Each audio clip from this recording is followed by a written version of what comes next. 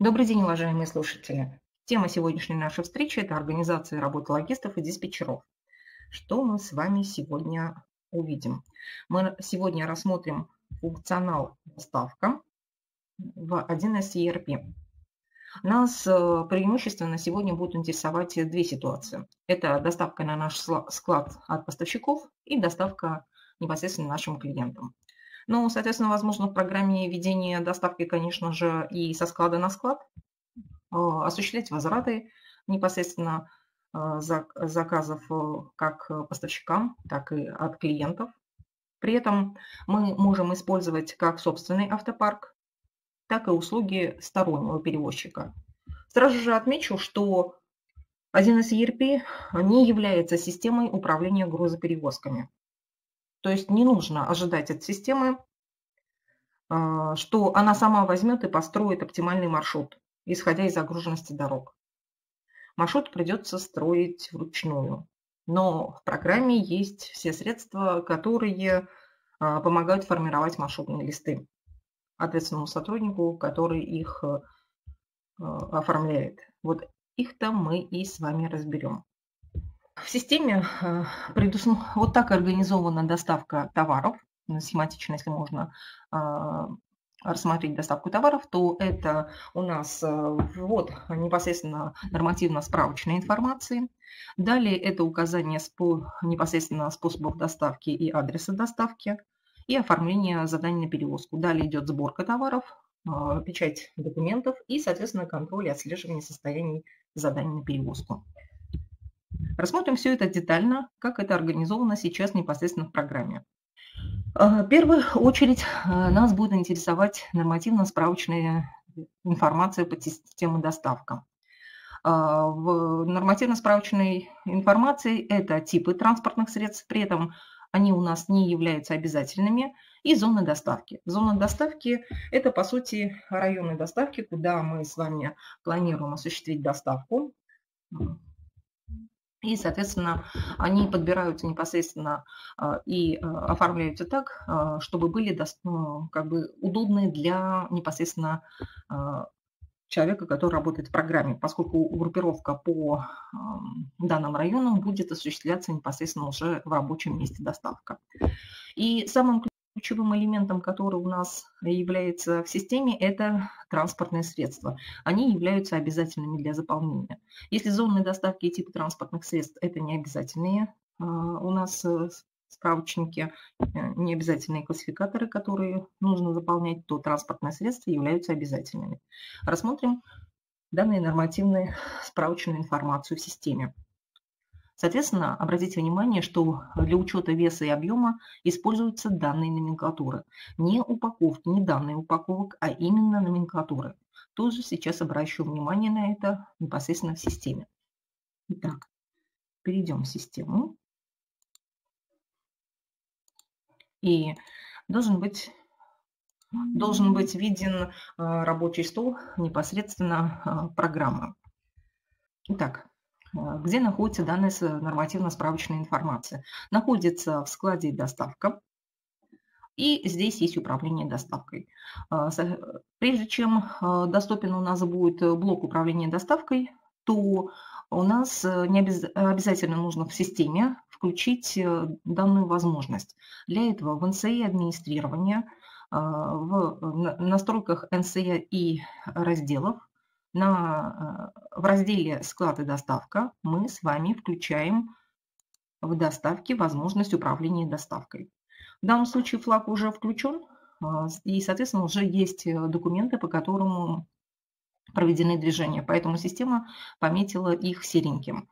Э, есть возможность установки флаж, флажка, когда адрес доставки у нас будет открываться только в диалоге. Соответственно, мы форму и поле, где у нас необходимо указать адрес, произвольно не сможем ввести данный адрес. И э, есть еще возможность формирования заданий, заданий на перевозку непосредственно для учета а, доставки силами перевозчиков. То есть мы можем формировать задания на доставку силами перевозчиков и отслеживать, соответственно, эту доставку. Так э, производится настройка, и после того, как данные настройки сделаны, у нас в складе «Доставка» становится доступным поле управления, э, раздел управления доставкой. Мы видим, что транспортные средства у нас вынесены непосредственно в данный раздел, а те справочники, о которых я говорила, это э, типы транспортных средств и зоны доставки, они находятся в настройках и справочниках. И вот они у нас в управлении доставкой, типы транспортных средств. Здесь мы прописываем типы транспортных средств, которые у нас э, доступны на нашем предприятии. Ну, например, это грузовые перевозки э, с не более 10 тонн. Можно здесь прописать детальное описание, можно добавить, э, а, указать грузоподъемность и вместимость нашего транспортного средства. Если мы будем э, выбирать тип транспортного средства непосредственно в рабочем месте э, доставка, то само транспортное средство система предложит выбрать в последующем. Это сдаются транспортные средства, типы. В справочнике зоны доставки уже есть данные по зонам доставки. Здесь может создаваться как группировка, то есть в данном случае, например, уже заведены в системе демонстрационной базе а, группировка по зонам доставки, например, Москва, и вот, соответственно, заданы зоны доставки. Это, по сути, чисто информационное поле, а, которое присваивает наименование. Ну, соответственно, мы можем по ней делать градацию. Вот указана зона доставки. Посмотрим теперь, что у нас а, с вами указывается непосредственно в транспортных средствах. Справочник транспортное средство, если мы используем непосредственно и еще доставку а, с, а, от э, транспортных э, служб, то, соответственно, мы в транспортное средство можем занести информацию о транспортном средстве, конечно же, и э, службы доставки сторонней организации, потому что мы можем, например, организовать выписку пропусков. Мы указываем здесь, давайте попробую так, мы, значит, что мы здесь указываем? Мы указываем госномер, указываем марку, тип. При этом обращу внимание, что тип не является у нас обязательным полем. Секундочку, чтобы вам было видно, мы сейчас просто создадим. Мы видим, что госномер является обязательным полем для заполнения. Указываем марку транспортного средства. Тип является у нас не обязательным полем, поэтому мы его можем не задавать. Но для того, чтобы у нас было понимание, что допустим, какой, транспорт, какой тип транспортного средства мы используем, здесь мы можем потянуть данные. У нас автоматически заполняется грузоподъемность и вместимость. А, при этом а, по нашему транспортному средству, даже если будут некие незначительные отличия по вместимости, то мы можем здесь э, отправить информацию. Вот, наименование является также обязательным полем. Можно указать вид перевозки, ну, соответственно, лицензионную карточку заполнить и указать, если есть данные по прицепу. Вот, э, соответственно, могу здесь как раз и показать данные. Вот они у нас заполнены. То, что у нас вид перевозки, например, межгород Россия, наименование транспортного средства, грузоподъемность, вместимость, все здесь указано. А теперь а, перейдем непосредственно к заполнению. Так, сейчас остановлю трансляцию и вернусь к э, презентации. А, сейчас у вас отобразится. А, задания на перевозку, а, то есть маршрутные листы, у нас оформляются на основании заказов поставщику, когда у нас заказ только находится строго в статусе подтвержден. Если же он не в статусе подтвержден, то мы его в нашем рабочем месте доставка не увидим. А, основанием для задания на перевозку, для формирования может служить заказ клиента. Опять же, в заказе клиента необходимо, чтобы хотя бы одна товарная позиция у нас была бы в статусе «отгрузить». Заказ на перемещение является основанием. Если же у нас не оформлены заказы на эм, поставщику, заказы на перемещение и заказ клиента, то основаниями у нас являются сами документы. Это приобретение товаров, услуг, перемещение товаров, реализация товаров, услуг. А, также могут быть основаниями заказы э, на возврат, э, так, заказы на возврат, сами возвраты. То есть э, распоряжений может быть достаточно большое количество. Вернемся в наш непосредственно э, в нашу базу и рассмотрим с вами, как проходит оформление непосредственно наших доставок. Само основное рабочее место доставки – это оно вот здесь. Доставка. Управление доставкой, доставка. Мы с вами говорили, что э, у нас основаниями являются различные наши документы. Давайте сначала их рассмотрим. Как определяется, что у нас э, указано, что нам необходимо осуществить доставку. Если рассмотреть закупку, то в заказах поставщикам исходя из э, заказов поставщиков, буду сегодня а, проводить э, демонстрацию, не буду рассматривать просто чисто приобретение, то есть вкладка, в документах есть вкладка, которая называется «Доставка». В данном случае э, мы можем указать способ доставки непосредственно в документе. Это может быть поставщик на наш склад, то есть он сам привозит нам непосредственно товар.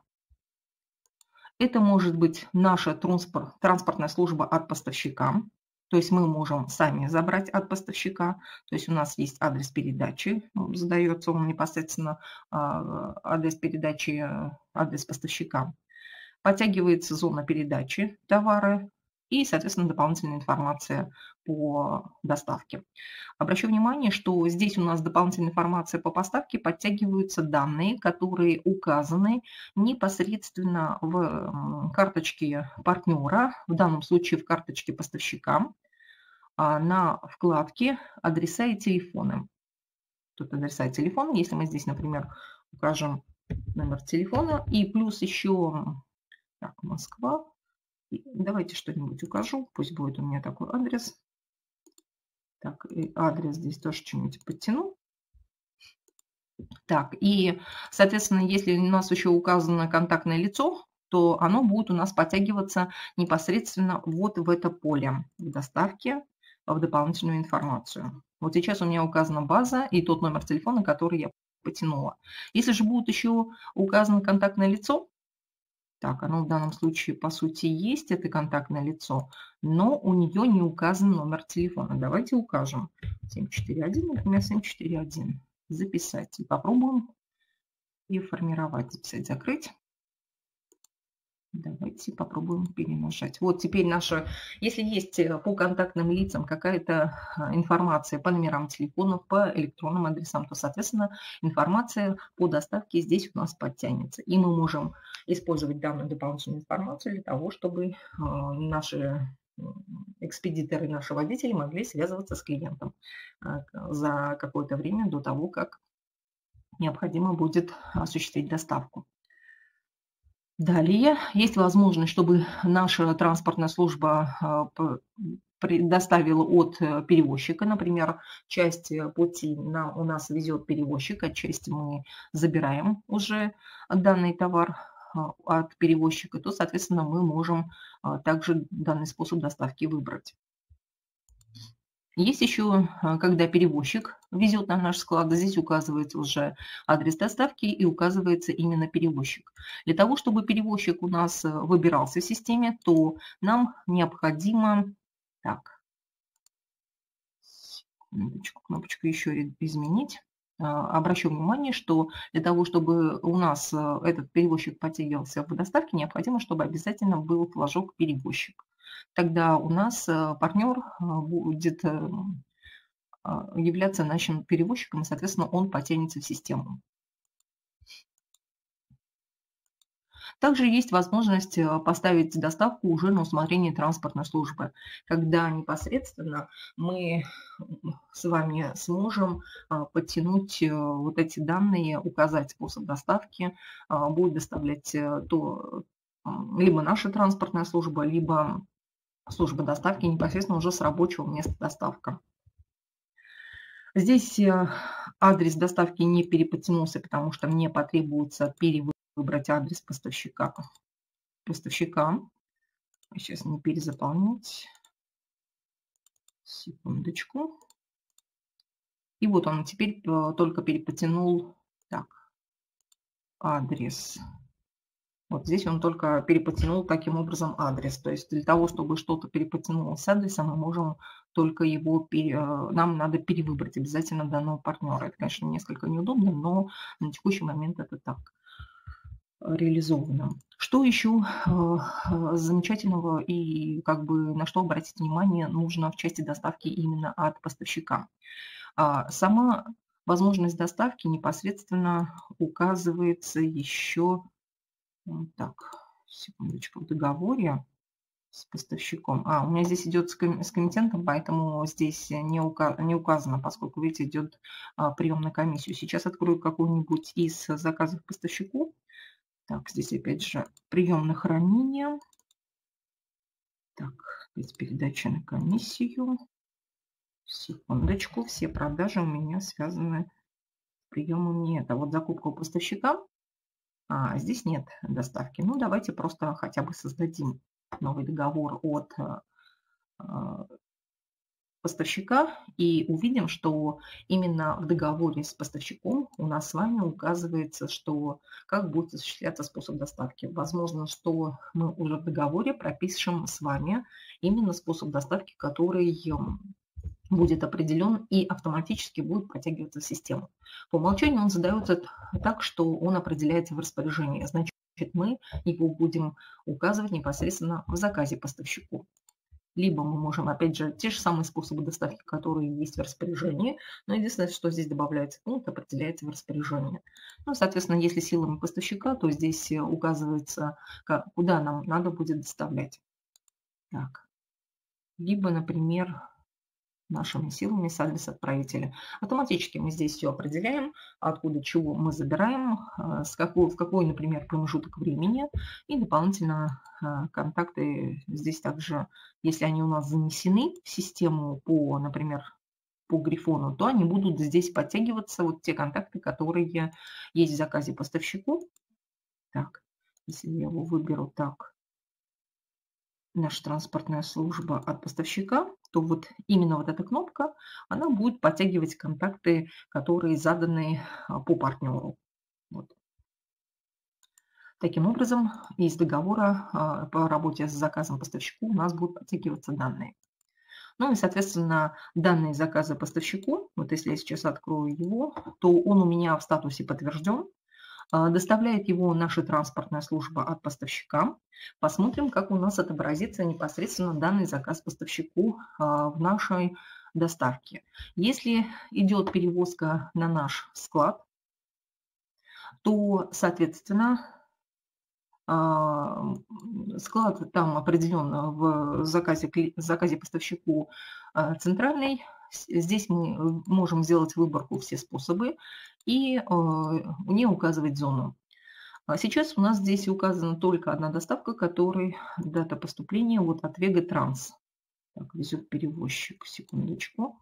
А что у меня там было в той моей задачке? То, что вот так, товары, перевозчик на наш склад. Вот обращаю внимание, что у нас как раз мой перевозчик э, должен привезти мне товар на склад. Вот у меня в доставке как раз отобразилось, что зону она у меня не указана.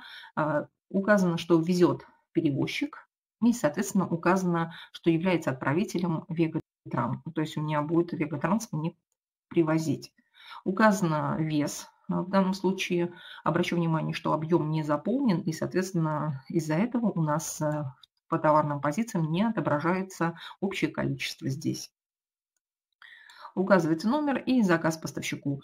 При необходимости данные поля можно поменять э, расположение местами, если мы воспользуемся кнопочкой «Еще изменить форму». Ну, соответственно, их э, эти поля переставить так, как удобно э, по стрелочкам. Соответственно, можно вывести любую информацию, которая доступна у нас будет по распоряжению. Так, ну здесь она, видите, только не видно, что кнопочка у нас активна, поэтому здесь нет возможности такой вывести. Мы можем просто добавить только распоряжение, обратить внимание и особые условия перевозки в данном случае. Так, это при необходимости произвести соответствующую настройку. Как же нам сделать так, чтобы у нас э, были еще и э, выведены объемы, поскольку нам именно вот это поле позволяет контролировать э, непосредственно, какую машину нам необходимо подбирать. Если мы сейчас вернемся в заказ поставщику, то в товарах, в номенклатуре, откроем номенклатуру, и мы используем, опять же, указываю, что не упаковки, а мы с вами используем именно а, весогабаритные характеристики самой номенклатуры. Здесь у нас указан вес, и, соответственно, у нас вес там уже отобразился. Мы сейчас с вами а, разрешим редактирование реквизитов и добавим еще объем. Добавим объем и, соответственно, пропишем, что, допустим, одна штука у нас весит, пусть будет 500. Это я так уже написала 500 кубометров. Это, конечно, утрировано, поскольку размер холодильника не может быть таким, но пусть будет. И мы сейчас с вами проведем. Так, вот у нас заказ поставщиком.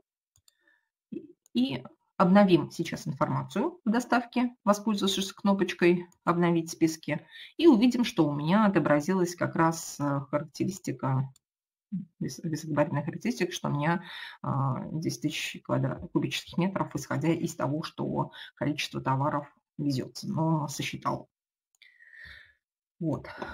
Значит, значок означает, что мы везет у нас поставщик. Давайте теперь проверим следующую, э, следующий вариант, когда у нас с вами а, данный заказ поставщику будет не в статусе подтвержден, а будет просто согласован. Достаточно часто бывает такая ситуация, что находится заказ в статусе согласован, и э, мы лихорадочно начинаем смотреть, а почему наш э, заказ не попал в доставку, почему он здесь не отобразился. Дело все в том, что именно статус подтвержден, влияет, если мы используем данные статусы, влияет на то, чтобы у нас э, наш документ заказ поставщику отобразился непосредственно в рабочем месте. Опять же, кнопочка «Обновить», и вот он у нас здесь появился. Это такой способ доставки, который у нас указывается непосредственно при заказе от э, при доставке непосредственно от э, нашего поставщика, то есть при закупке. А, рассмотрим ситуацию, когда, ну, нам, нас, конечно же, будет больше еще интересовать вариант, когда мы осуществляем именно доставку до клиента.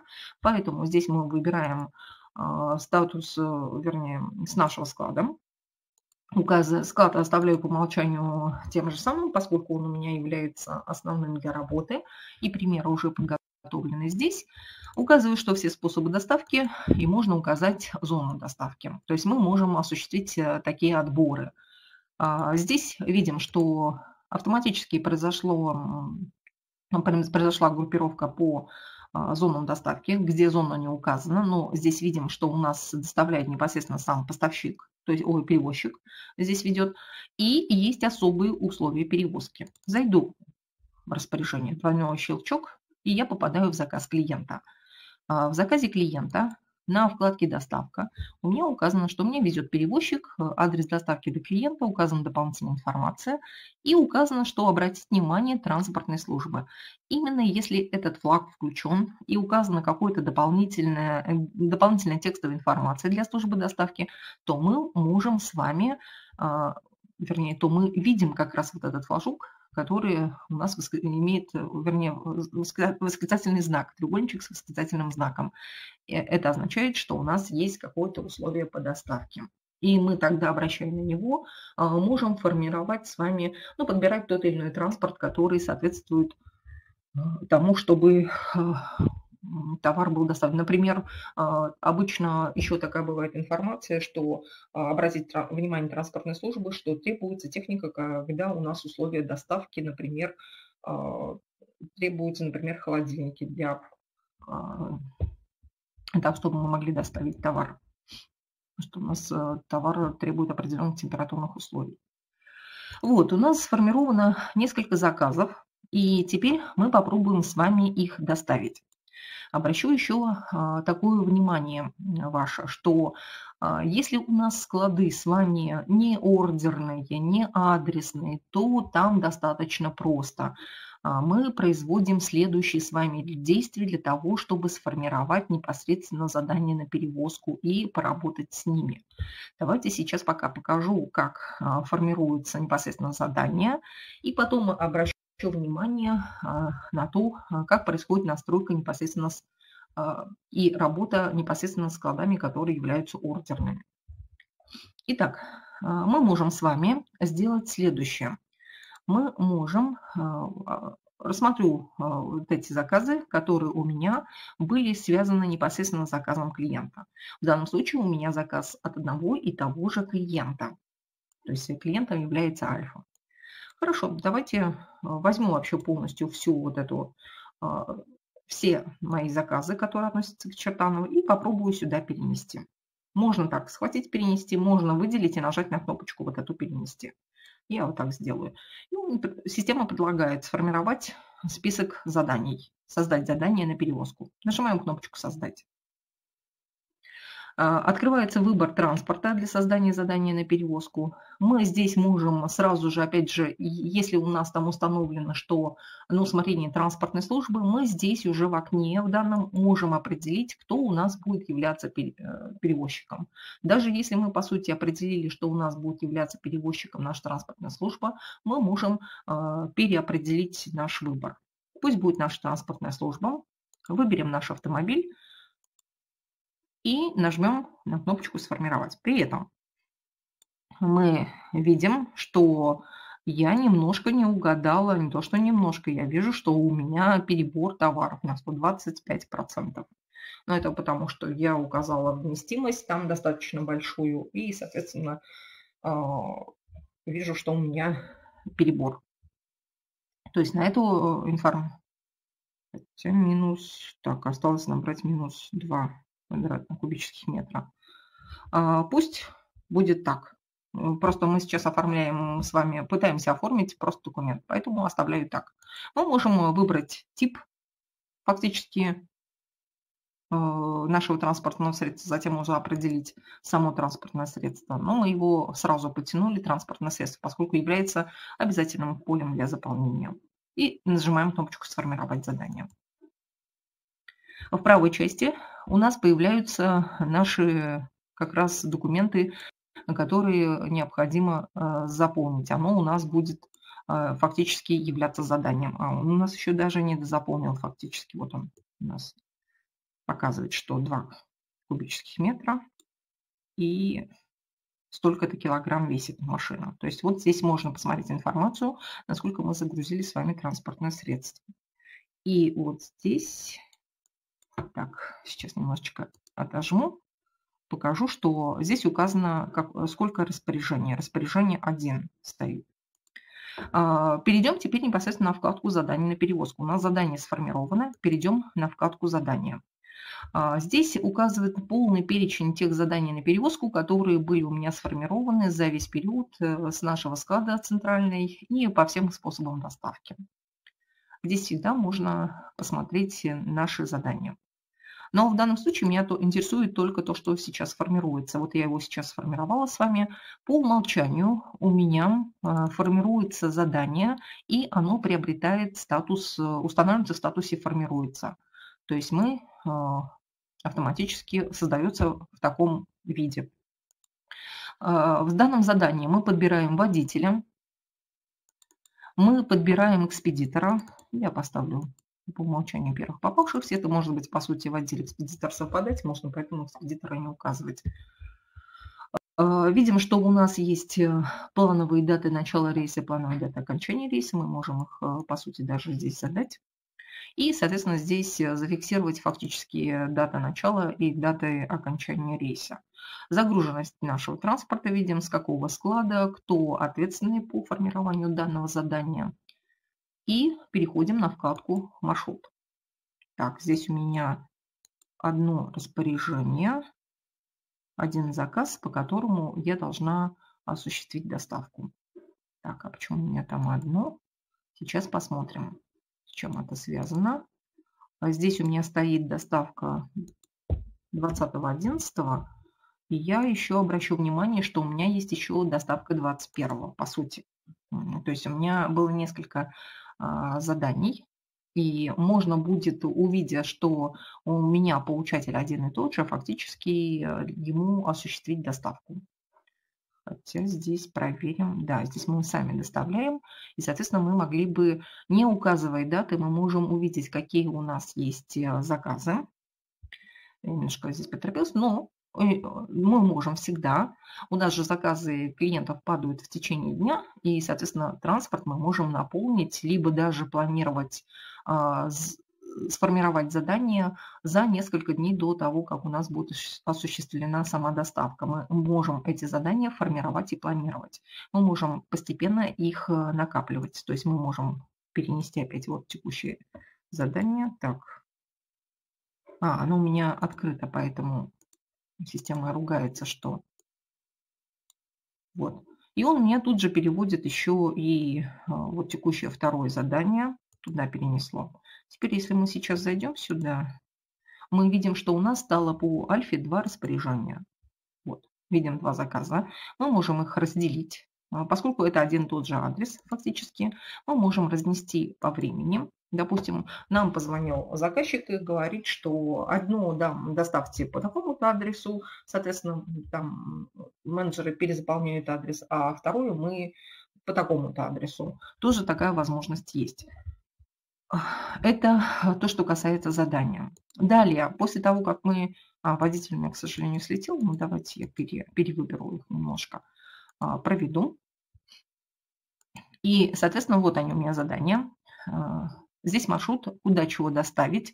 А, указывается адрес, а, зона доставки, дата, время, если есть пожелание там по времени, какой вес, объем и, соответственно, кому, куда и кому звонить э, по, в той или иной ситуации. Здесь у меня дублирует, что заказ 1 и заказ 2, соответственно. А при необходимости мы можем отсюда дополнить, опять же, задание. То есть не переходя в рабочее место, вот не переходя сюда, мы можем отсюда добавить распоряжение. То есть видим, что у нас на такой-то есть такие-то распоряжения сейчас, и мы их можем добавить сюда что видим, что наша транспортная служба, зона такая-то, и все распоряжения здесь показываются. А, так, хорошо. А, а заказ мы сформировали, соответственно, провели. Теперь как раз, поскольку у меня склады ордерные, соответственно, то здесь будет э, несколько работа э, производиться связки непосредственно с, со складом хотела бы пока показать статусы задания на перевозку. Я выберу те, то есть покажу сделать все. И вот здесь у меня есть, например, вот центрального склада уже произведенные и закрытые статусы. А, когда у нас наша транспортная служба осуществила, то есть мы видим, что у нас есть статусы разные к погрузке.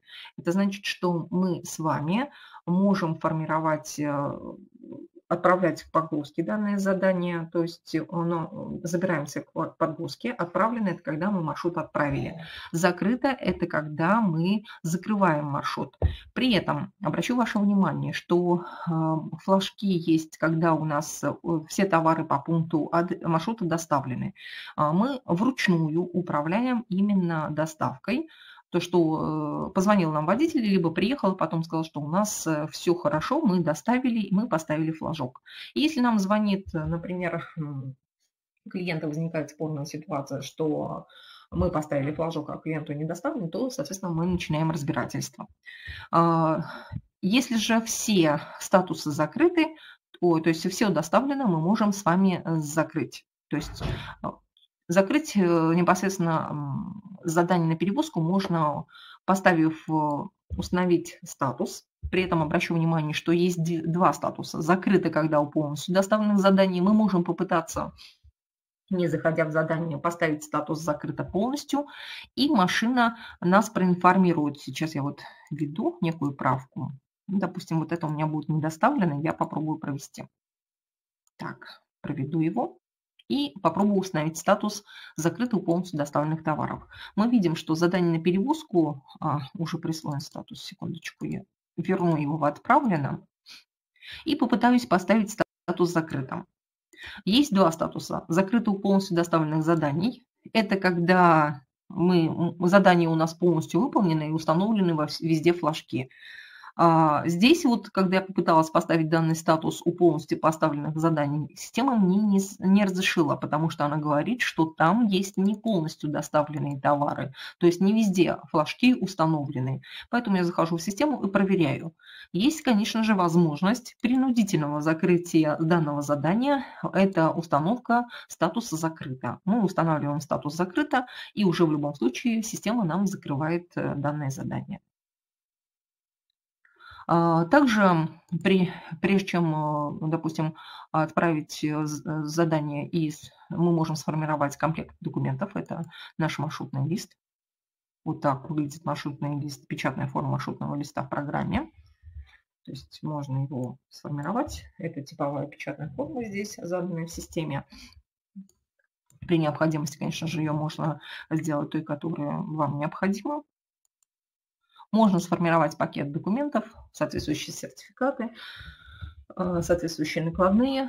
Э, конечно же, здесь тоже можно сформировать. И когда у нас э, статус документа будет так, когда мы меняем с вами так, вернусь, секундочку. Вот когда мы верну, меняем с вами статусы, то мы здесь фиксируем факты.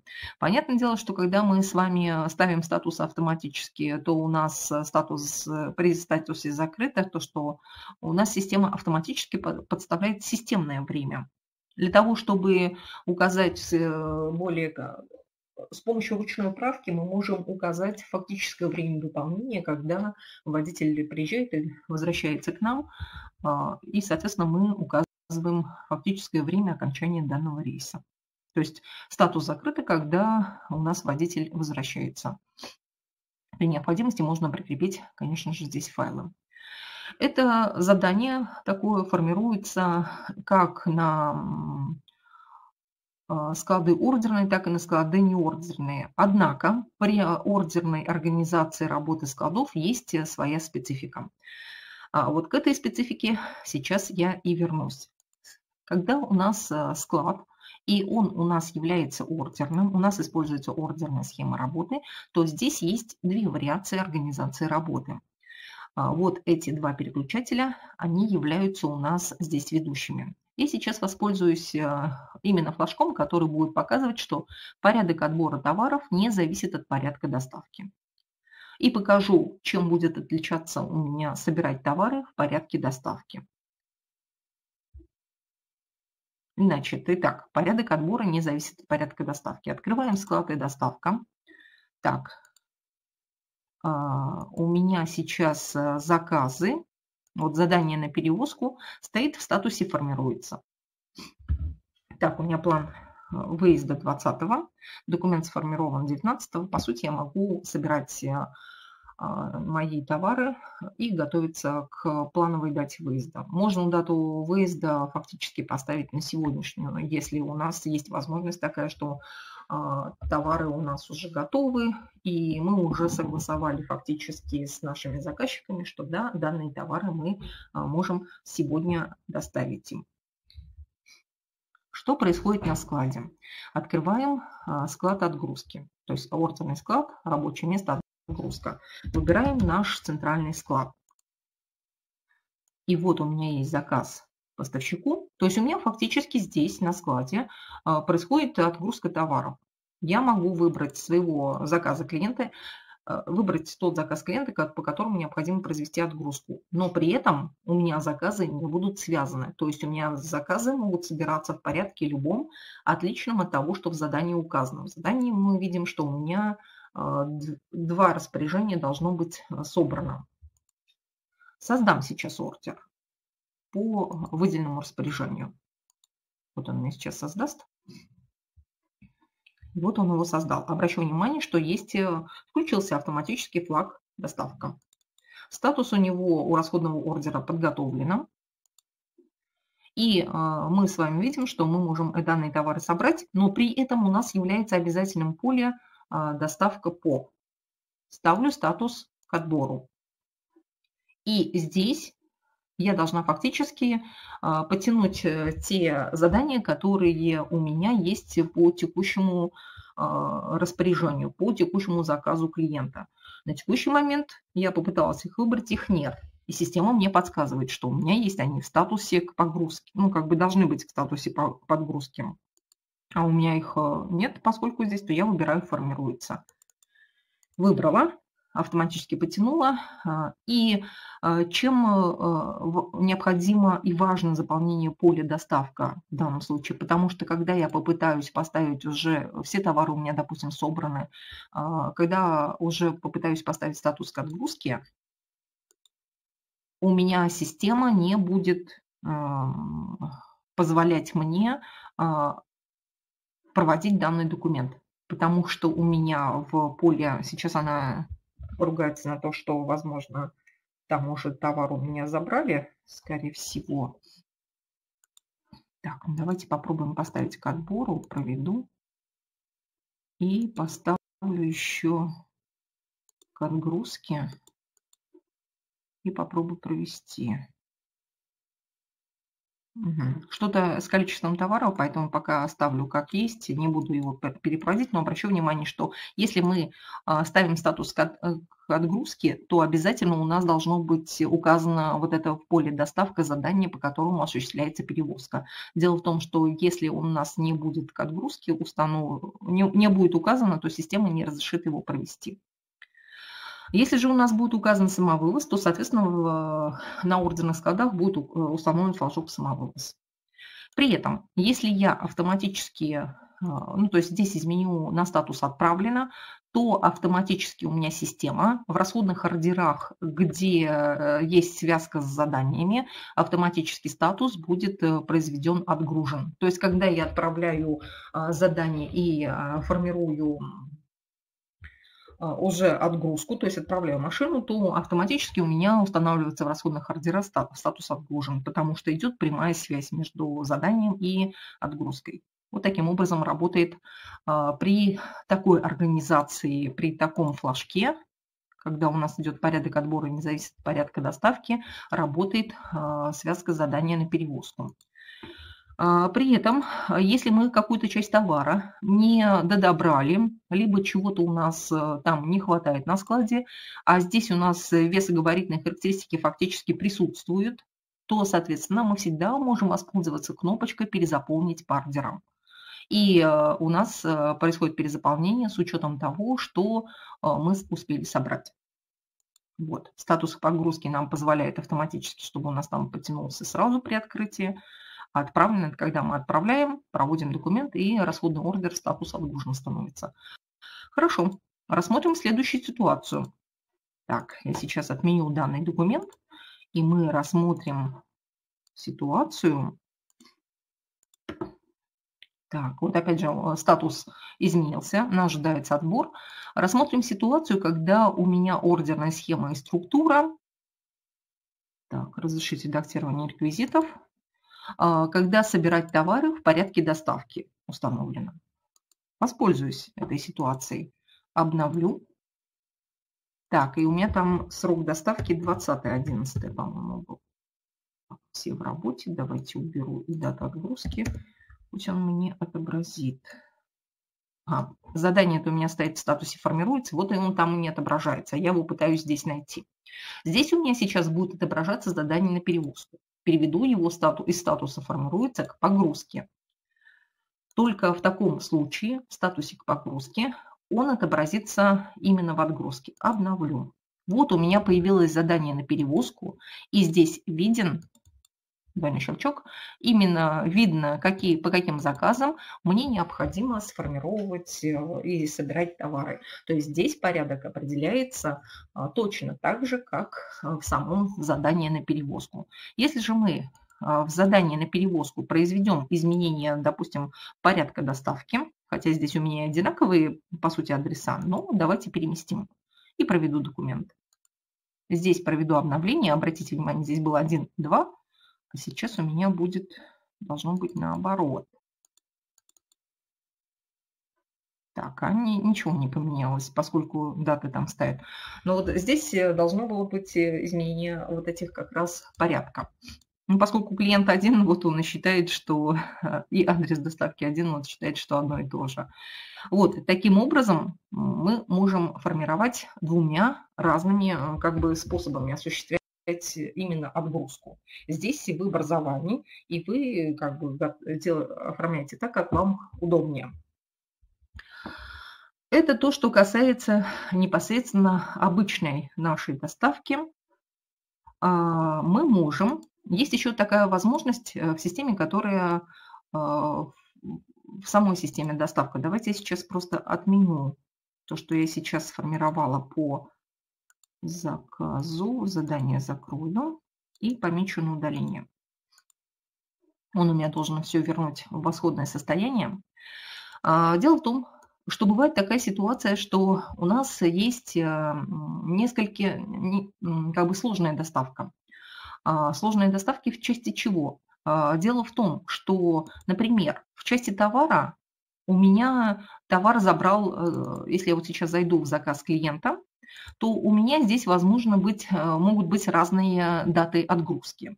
В этом случае для того, чтобы товар не попадал у меня, либо дата одна и та же, а часть товара у меня забрал уже непосредственно клиент, то есть сам он забрал сам со склада, как мне в этом случае исключить из, из э, непосредственно э, моего заказа? Я могу выделить, и здесь такая кнопочка есть «Исключить из доставки». Соответственно, он не попадет в доставку, и можно будет его не рассматривать. То есть, например, он вчера забрал, либо э, сегодня забирает, а у меня доставка будет, допустим, завтра, то, исходя из даты отгрузки непосредственно товара, я могу данные товары отбирать. И э, когда, допустим, чтобы проверить себя, я могу посмотреть исключенные распоряжения. То есть вот здесь будет полностью список исключенных распоряжений, что у меня там это не было в распоряжениях, что я исключила из доставки. Это одна из вариаций работы непосредственно с 1С доставком. Так, так работает блок. А сейчас же Секундочку, я остановлю трансляцию и вернусь непосредственно к своей презентации. А, мы видим, что а, продукт не стоит на месте. А, тем более у нас в скором будущем предстоит формировать и производить электронный документооборот непосредственно по доставкам по логистике.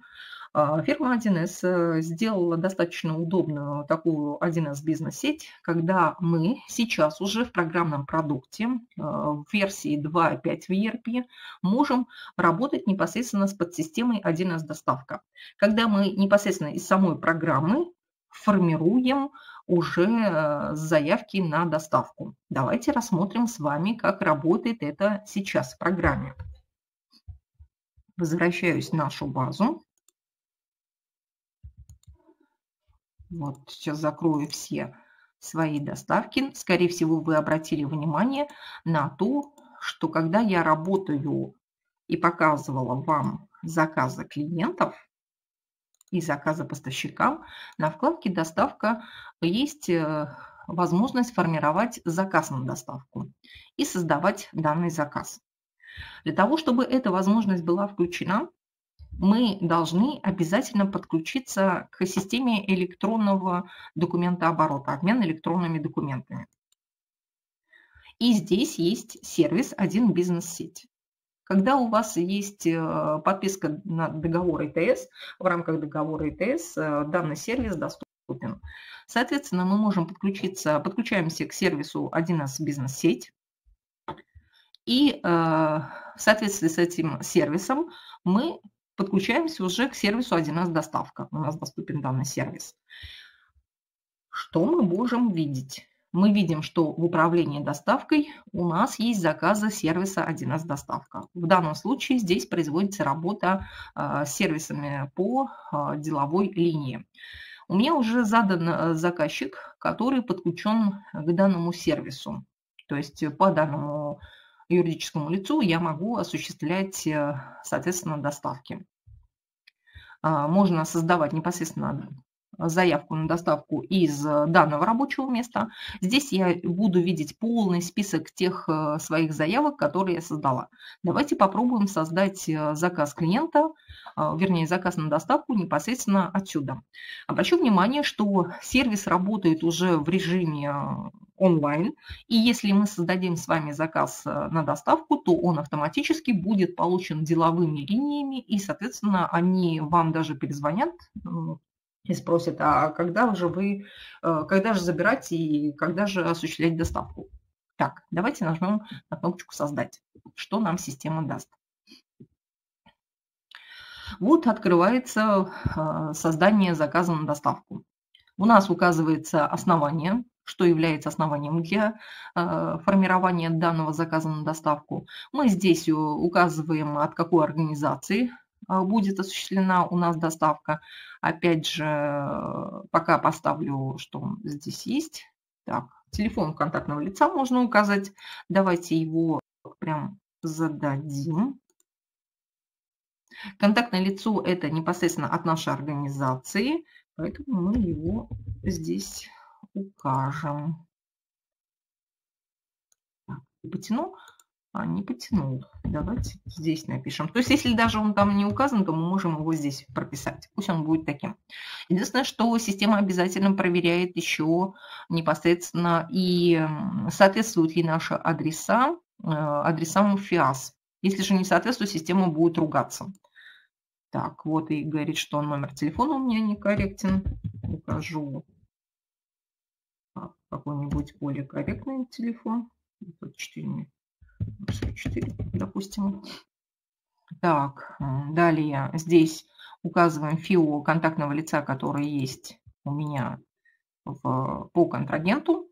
Так, куда везем? И вот здесь достаточно важно, что система мне не позволит привести э, так, адрес контрагента. Так, давайте изменим адрес контрагента, поставим его более правильным. То есть здесь его даже фактически нет сейчас. А, воспользуемся адресным классификатором. Так, муниципальный, да, пусть будет Москва. Так, Москва, город, улица. Первомайская улица, дом. Прям э, используя адресный классификатор, мы с вами его и заполняем. Так, ну пусть все. Так, и попробуем записать его, переподтянем. Он потянул. Э, время доставки у нас было э, заявлено непосредственно в самом заказе на доставку, поэтому мы его здесь оставили. Ну, соответственно, можно им воспользоваться. А далее э, переходим последовательно на наши переключатели и зададим параметры. Можем определить стоимость груза, например, указать содержимое. Я не помню, правда, что там было, пусть будет в холодильнике.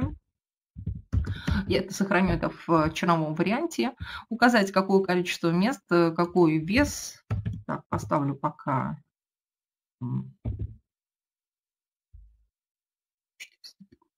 пусть будет длина 45, ширина. Ну, конечно же, здесь опять цифра у меня будет это, не совсем правильная, а тут 2.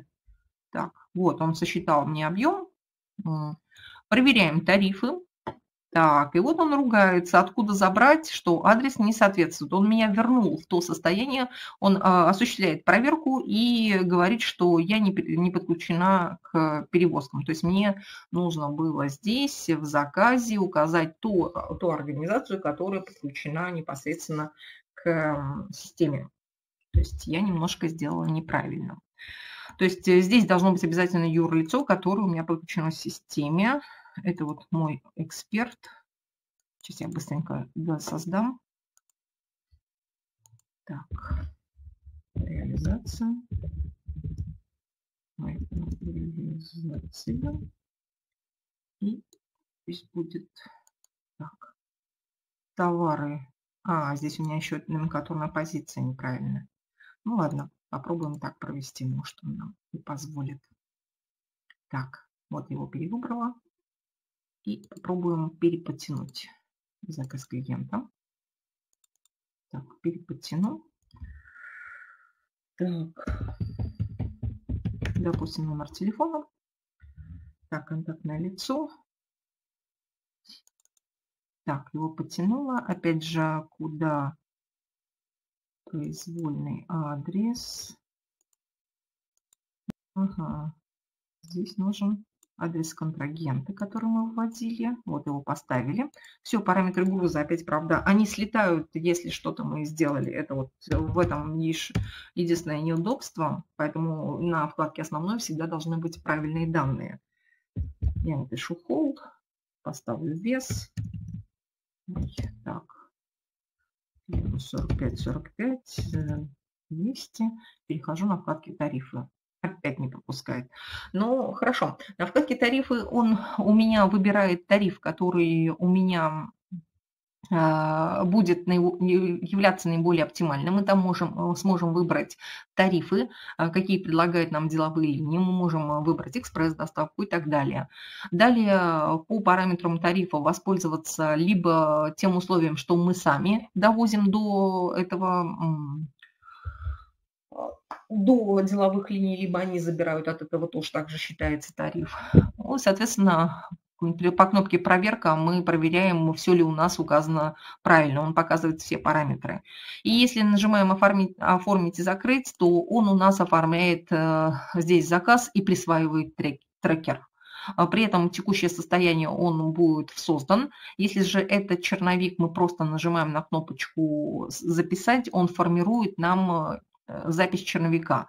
При этом мы можем произвести отмену только записи, которые являются черновиком. Если же у нас уже сформирован заказ, даже если мы с вами потренировались в этой системе, сформировали этот заказ, то система, э, то есть данные получены непосредственно уже деловыми линиями, и деловые линии вам звонят, либо говорят, что когда заберете, либо должны будете с ними созвониться, указать треки, э, трекер и э, сказать, что заказ отменяется, либо как. То есть здесь уже при, приходится с ними скоммуницировать, либо отменить данный заказ, если он ну, у вас есть личный кабинет непосредственно а, на их сайте. По аналогичной системе, а, по аналогичной системе с 1С доставка можно организовать любую интеграцию по API э, с любыми э, службами доставки. По сути, можно данное рабочее место использовать для интеграции с, с другими службами доставки. Вот. А, Еще хотела бы остановиться на одном моменте, который несколько упустила. Вернулся в свою старую доставку. Вот я здесь пыталась все а, Помните, я вам говорила то, что есть э, как бы заказ клиента, который может осуществить, например, сторонняя служба. Смотрите, бывают ситуации, когда а, наши а, есть у нас такие консультационные услуги, например, есть услуги, когда мы оказываем замеры, и наши специалисты выезжают также на автомобилях. То есть мы а, заказываем служебный транспорт и должны указать, например, Э, в частности, на какие-то замеры, на какие-то установки у нас ездят наши сотрудники. А, соответственно, э, для данных сотрудников мы можем также указать э, и создать заявку. Допустим, вот, по-моему, вот этот пример у меня и был связан, нет, это соковыжималка. У меня, допустим, сейчас вот есть заказ клиента, Дальстрой, тот, который я пыталась отправить, а это у меня было консультационное именно выполнение замера, то на вкладке «Доставка», поскольку это номенклатура, это услуга, то есть у меня специалист выезжает на какую-то услугу, то, соответственно, я не смогу поставить статус действия, а, допустим, «Отгрузить» у меня услуга стоит не обеспечивать, и, соответственно, мой специалист должен оказать эту услугу. Заказчик меня ждет с 12 до 13, и здесь у меня моя транспортная служба должна а, осуществить непосредственно как бы отправку, то есть мы должны воспользоваться нашим транспортом. Склад у нас центральный. Клиент меня ждет а, сегодня с 12 до 13. А, но в моей вкладке доставка данного как бы данного, данной задачи нет. А, в чем а, и как оформить данные заказы? Для того, чтобы данный заказ по услуге появился непосредственно в рабочем месте доставка, мне необходимо сформировать за задание на поручение экспедитору. Я формирую поручение экспедитору и, соответственно, могу здесь указать, кто у меня контактное лицо, то есть кто меня ждет. Указывается информация по контактному лицу, что с такого-то времени по такого-то меня действительно ждут. Адрес произвольной форме у меня там указан, я подтяну тот адрес, который необходим, а там уже из зоны доставки слетела. Так, то есть есть вариации. Машина автоматически подтягивает э, тот адрес, который был указан в заказе. Давайте я еще раз быстренько вернусь поручение экспедитору, пусть будет э, то, что там указано, потому что иначе время у меня слетает. А, контактное лицо, укажу, он у меня переподтянется. Нажимаю на кнопочку. А здесь я указываю, кто у меня поедет. Например, Иванов Иван Иванович. Его ждут. Вот, все. Я формирую поручение экспедитору, могу при необходимости поручение экспедитору написать, распечатать в таком формате заданной системы. И теперь уже после того, как я сформировала поручение экспедитору, у меня появляется мой заказ непосредственно здесь. И я могу сформировать задание на перевозку. Ну, например, легковым э, транспортом отправить э, своего, а, э, своего сотрудника непосредственно к клиенту, и клиент его будет ждать. То есть, а все последующие действия аналогичны. Вот, это кратко то, о чем хотела сказать по доставке, рассказать вам. А, вот, если у вас вопросы, возвращаюсь. А вот а, э, здесь эм, не показал этот слайд, что сервис сам по себе 1С доставка, он достаточно такой а, трудоемкий, сделан 1С непосредственно, вот, и он предполагает себе, что все прикладные, по сути, решения, э, что ERP, что комплексная автоматизация, что управление торговлей, которые будут в редакции 11.5, вот 2.5 буквально вышла позавчера, официальная версия ERP, то, соответственно, вот этот сервис здесь уже налажен пока для деловых линий. В последующем, возможно, подключатся и другие линии, которые участвуют, э, то есть другие перевозчики, которые участвуют непосредственно, а, можно будет позволить, э, а, которые будут участниками бизнес-сети и которые будут формировать заказы, позволять формировать заказы непосредственно на доставку из программы. То есть достаточно удобный сервис. Также, если у нас там наши поставщики являются участниками бизнес-сети, то, соответственно, мы будем видеть, что они, если они доставляют нам заказы, то мы будем видеть а, заказы и от них, что в таком-то статусе наш заказ поставщику находится. То есть здесь э, коммуникации, по сути, а, прямые. Мы в онлайн-режиме видим статус наших доставок. Это очень достаточно удобный механизм. Вот э, то, что хотела рассказать. Э, благодарю вас за внимание. Если есть вопросы, можете задавать сейчас. Ну, по сути, у нас лимит времени фактически исчерпан. Либо наши менеджеры свяжутся с вами. Если возникнут какие-то вопросы, пишите нам на вот указанный адрес. Мы готовы и рады будем вам ответить на ваши вопросы. Все, всего доброго. До следующих встреч.